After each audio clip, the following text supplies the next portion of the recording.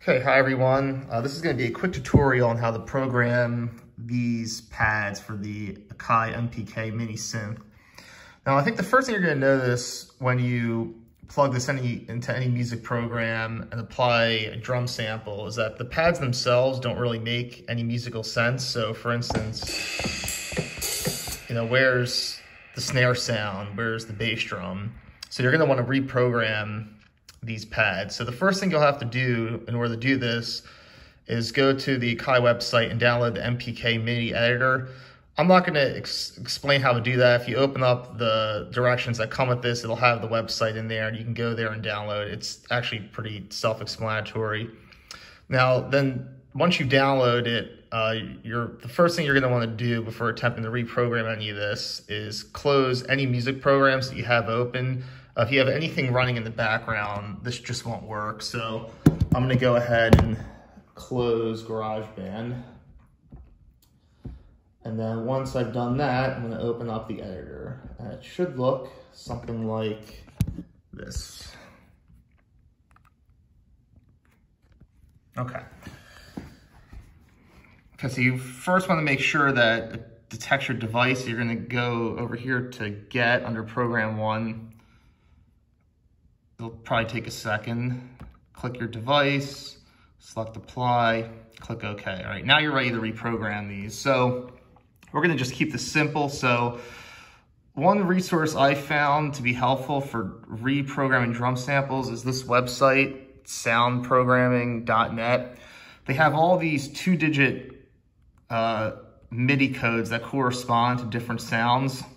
So like in general, 30, for like, and I mean, this isn't 100% accurate, but for most drum samples, you know, uh, 36 tends to be the bass drum, 38 tends to be the snare, and 42 is usually a closed hi-hat sound. So I'm gonna go ahead and program those in here. So I'll go to pad one, I'm gonna click in here, make this 36, make this 38, I'm going to make this one 42. Okay. Once you've done that, you're gonna go back over here, click send, And then once you've done that, you can, if you wanna save your settings, you could do so here, just click save.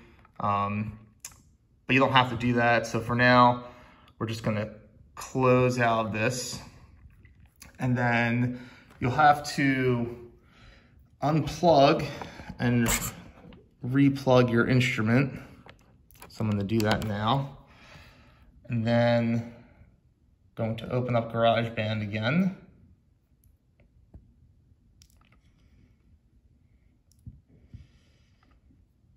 And all right, let's see how we did. Yep. So there you go. Um, that's that's basic. That's basically it. And obviously, I'm going to go back to the editor here. You can you can do this for both So you have uh, two methods of storing samples here. So you have bank A, uh, you press, you have bank B. So bank A, the green corresponds to there, and then bank B is highlighted in red. But uh, yeah, that's basically it. So hope you found this helpful. Thanks.